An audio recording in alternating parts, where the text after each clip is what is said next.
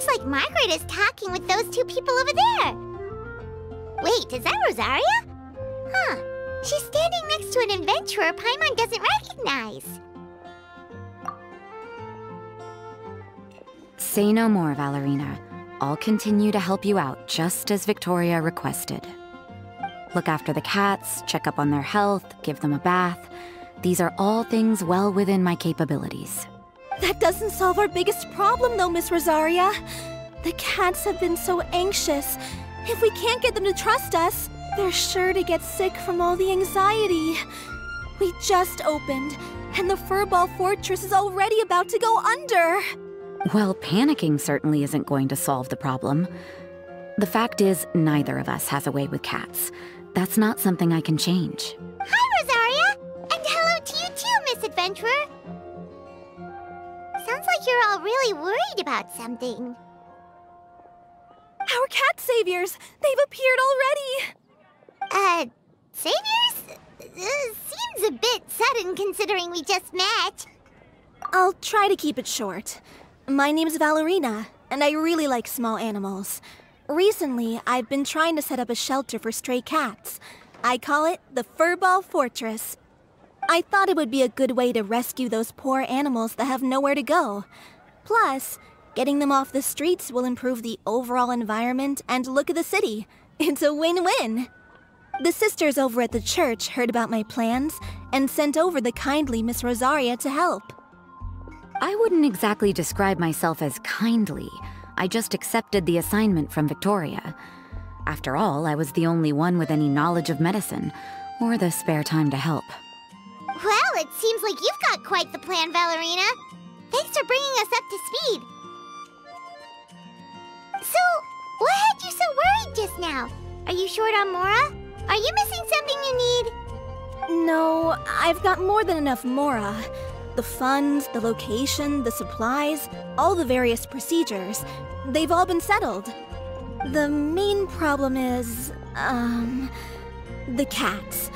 They, uh, keep swatting at me. They're always hissing and swatting. They won't let me approach them, not even with treats. the cats are afraid of me as well. They run away the minute I'm in the vicinity.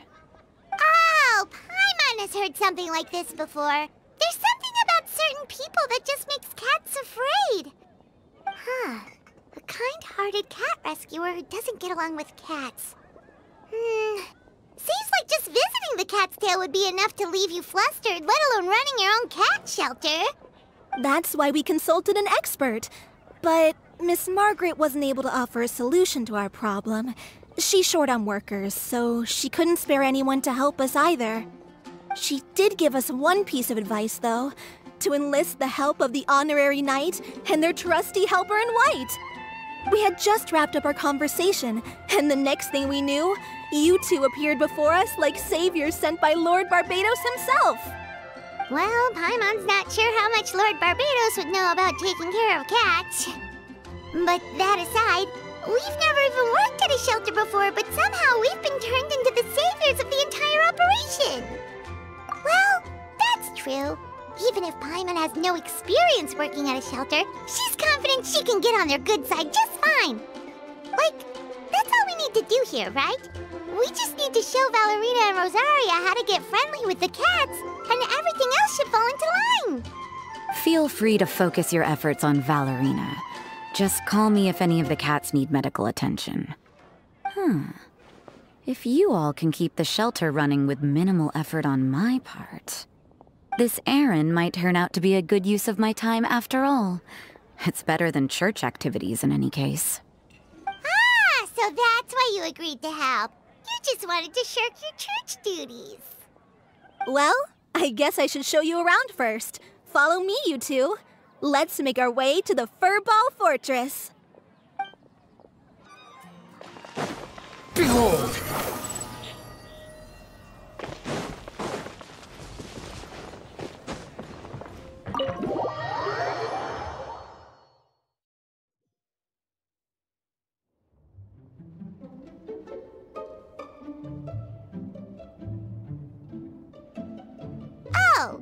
It's just a regular house. Well, gotta say, Paimon was expecting something a little bigger with Fortress in the name and everything. This was the biggest space I could find in the city over the past few weeks. The rent is cheap, so that's a plus. A half a year's worth of rent, along with all the Cat's Tail inspired furnishings, only cost me a few million mora. Of course, not all of the cats will be staying indefinitely. We plan to offer some of the healthy ones up for adoption. As long as the new future owners prove capable and the cat seems like a good fit, they're welcome to take their new pet back to a loving home. This location is definitely good enough. We could even expand the business one day and start sheltering stray dogs, foxes, or even squirrels. When that day comes, though, I'll probably have to think of a different name. Huh, maybe the Furball and Friends Fortress would be a better fit. I would suggest letting all of this play out first. You still don't know if the customers will even get along with the strays. Huh? Look over there! That cat is staring at us. oh, it's the little white cat.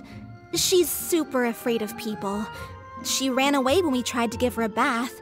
It took us forever to track her down again. She looks so and clean, and her fur is so white and fluffy, just like fresh fallen snow. Wait, that's perfect! We should call her Snowball! Ooh, those are some good names, Traveler, but Paimon thinks she likes Snowball best. Here, kitty kitty! That's it, Snowball! Good kitty! That's a good kitty! It's been what, a minute? And you already got the cat to listen to you. Did you see that, Miss Rosaria? She's practically a miracle worker. You really are a cat whisperer. Aw, that was nothing. They may be strays, but as long as you give them a good name and call them with love, you're sure to gain their trust eventually. First things first, though, you gotta pay attention to the way you interact with them. Um, hmm, how should Paimon put it? Basically, it all comes down to your demeanor. For example, you can't just stand there trembling in fear, Valerina. If you're afraid, the cats are sure to become afraid as well.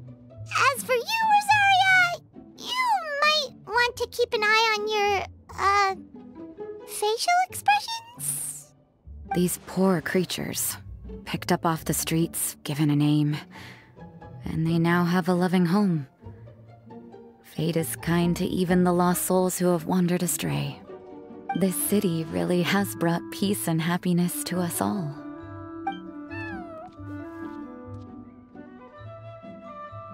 Hey, Snowball is snuggling up to Rosaria. Looks like she's not afraid of her anymore. Did Rosaria just smile? No matter. There are more important things to focus on. Anyway, it's getting a bit stuffy in here. I- I'm going to go get some air. Call me if you need me. Huh. Paimon thought Rosaria would be happier about that. Please, teach me more of your ways, Honorary Knight. And you too, oh great cat whisperer. We're sure to get more and more strays coming to the Furball Fortress, and I doubt all of them will be as friendly as Snowball.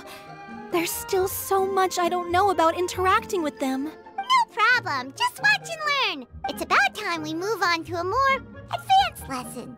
How to get the cats not to just trust you, but to like you. It's all about patience. As long as you put in the effort to get to know them, you'll become best friends in no time. I completely understand. The Furball Fortress is still in its trial phase, so the more I can learn at this stage, the better. Thank you